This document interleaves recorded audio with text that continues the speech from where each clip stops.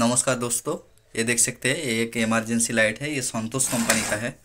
तो इसके जो प्रॉब्लम है तो इसको मैंने देखिए, यहाँ पर चार्ज में कनेक्ट किया बोर्ड के साथ, लेकिन इसमें चार्ज नहीं हो रहा है। तो हम देखेंगे इसमें कौन सी चीज़ में कौन कौन सी फॉल्ट आई है। कि सारे के सारे चीज़ आप लोगों को मैं दिखाता हूँ।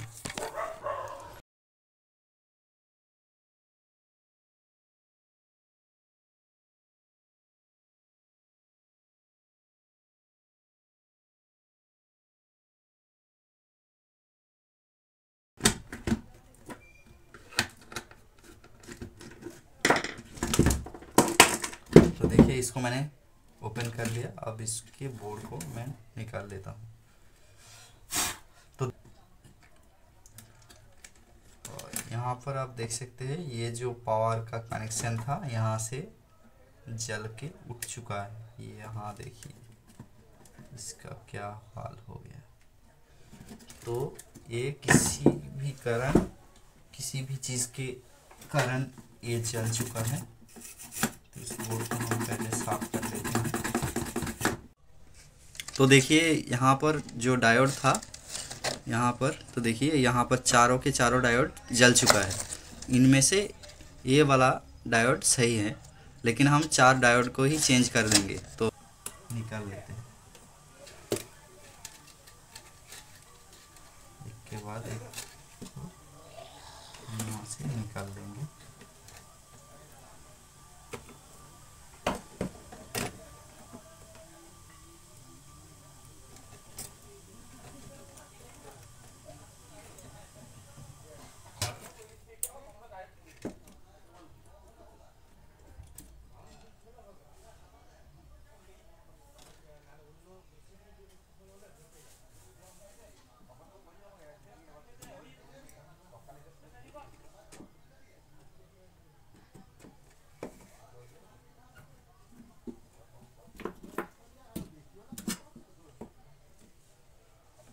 तो हम यहाँ पर सभी के सभी डायोड को फिर से यहाँ पर लगा लेते हैं।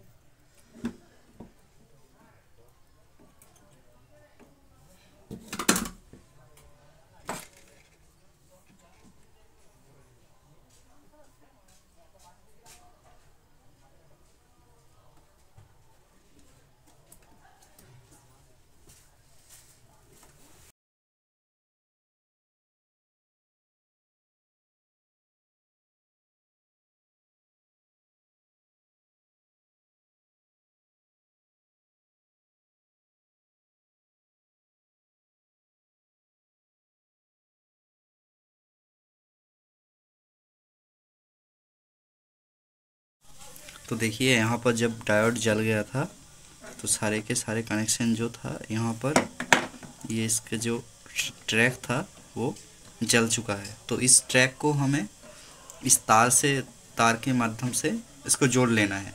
तो हम छोटा छोटा तार, इस तरह का कोपर का तार लेंगे और हम इसको जोड़ेंगे। तो हम सब इस तरह से पाक लगा लेना है।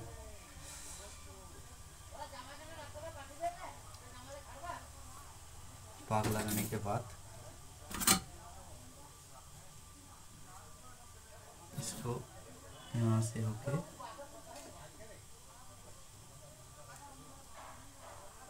फिर से जहाँ पर कनेक्शन था उसका, वहाँ पर जोड़ लेना इसको मैंने यहाँ पर जोड़ दिया।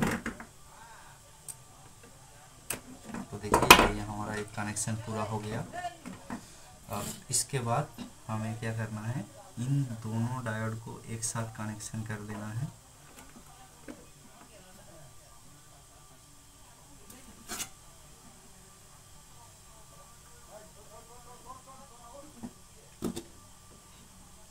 इधर कनेक्शन कर देना है। और और एक लेना है इस तरह से।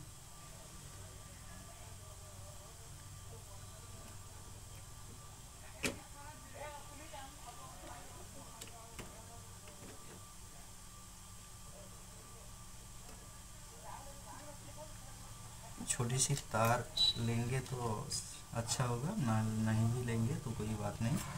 तो यहाँ पर अच्छी तरीके से सोल्डिंग कर लेना है आपको।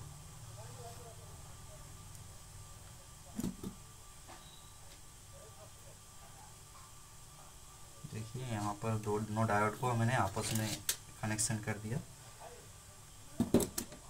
तो ये जो है हमारा एसी का इनपुट हो गया। डायोड में एसी इनपुट मैंने कर दिया। इसके बाद यहाँ से रेक्टिफायर होके डीसी बन के जाएगा इधर से। तो इसको बाद हम एक बार इसको चेक करेंगे। तो चेक करने के लिए सबसे पहले क्या करेंगे, यहाँ पर कनेक्शन करेंगे और इस एलईडी को चेक करेंगे कि चल रहा है कि नहीं चल रहा है। इससे पहले कनेक्शन देने से पहले आपको एक काम करना है, इस बैटरी का जो कनेक्शन है, उसको निकल देना है। क्योंकि अगर हाई वोल्ट किसी भी कारण बोर्ड में थोड़ी सी भी शॉर्ट सर्किट रहेगा तो बैटरी को ख़राब नहीं कर पाएगा। इसलिए बैटरी को यहाँ से निकाल देना है, वरना बैटरी भी ख़राब हो सकती है। तो अब हमें इसमें कनेक्शन लगाना है। इसको हम सीरीज़ में लगा के देखेंगे। तो हम इसको सीरीज़ बोर्ड के साथ कनेक्शन करते हैं। तो देखिए, ये हमारा लाइट ग्लो कर रहा है। अब इसमें एक बार बैटरी के पास वोल्टेज को चेक कर लेना है। बैटरी के कनेक्शन में कितनी वोल्ट आ रहा है। तो हम देखेंगे यहाँ पर जो प्लास का कनेक्शन है तो आप देख सकते हैं यहाँ पर। ये देखिए ये हमारा प्लास का कनेक्शन है। तो इसमें हम रेड पॉप को जोड़ लेते हैं और इसके बाद यहाँ पर देखिए देखिए यहाँ पर आठ वोल्ट आपको देखने को मिल रहा है। इसके मतलब अब बैटरी चार्ज होने लगेगा। तो इस इमरजेंसी में जो चार्जिंग का प्रॉब्लम था, वो सॉल्व हो चुका है। तो हम